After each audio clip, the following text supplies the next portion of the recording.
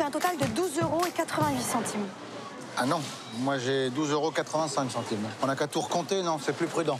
Allez. S'il vous plaît. Ça va, mademoiselle s'est trompée, ça va? Ça arrive à tout le monde de se tromper, oui?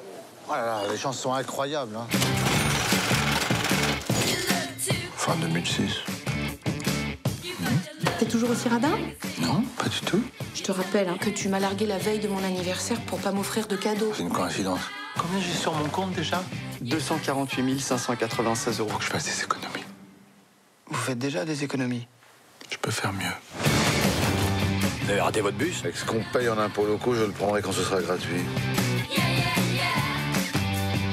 Ça vous, ça vous dirait d'aller boire un verre? Oui. Il m'a invité à dîner?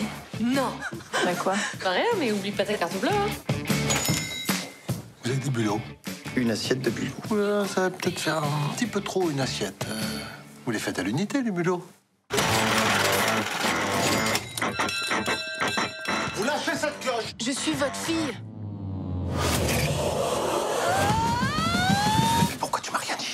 Tu voulais que je lui dise quoi? Que son père est la plus grande pince du monde? Je, je ne peux pas vous loger. 100 euros par semaine Non, c'est gentil, mais 120 euros 140. Ah oui, euh, quand même. Dis donc, tu serais pas un peu... Un peu quoi? Bah, un écolo Oui, un peu, oui.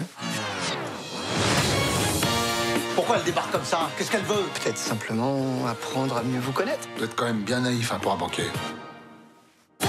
Il y a un moment donné dans la vie où il n'y a pas d'autre solution que de payer. Bruti. François J'ai quelque chose à vous demander. C'est divin, mais euh, je cale. Bah, c'est pas grave. Je finirai chez vous. Vous connaissez pas le Dog